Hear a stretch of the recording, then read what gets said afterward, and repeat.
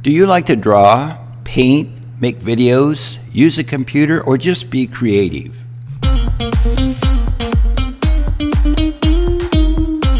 You might just become a design, visual, and media artist like a painter,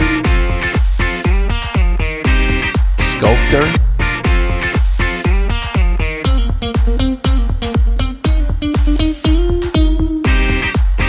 art printer,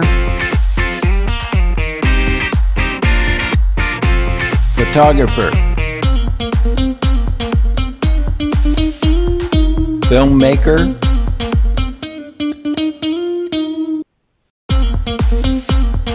graphic artist,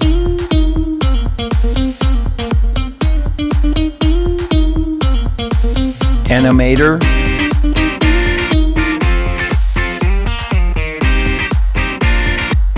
web designer.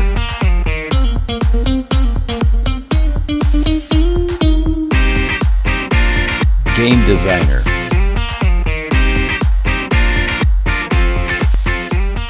So, how do you start your journey to a profession, a career in design, visual, and media art? It begins by choosing a pathway. The California Department of Education has identified 15 industry sectors and 58 pathways based upon the type of work done. The design, visual, and media pathway falls under the arts, media, and entertainment industry sector. People with professions in this sector are associated with the arts and work with people and ideas. Start on your journey here at Atascadero High School. The Design, Visual, and Media Arts pathway provides a sequence of courses preparing you for entry level employment or further education and training to reach your goal.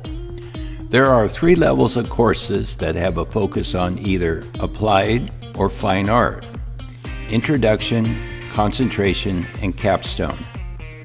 For the fine art focus, the introduction course is Introduction to Art.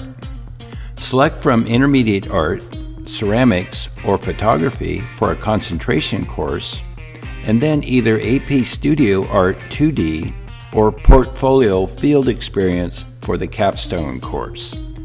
For the Applied Arts focus, Introduction course, select from either Introduction to Art or Computer Applications.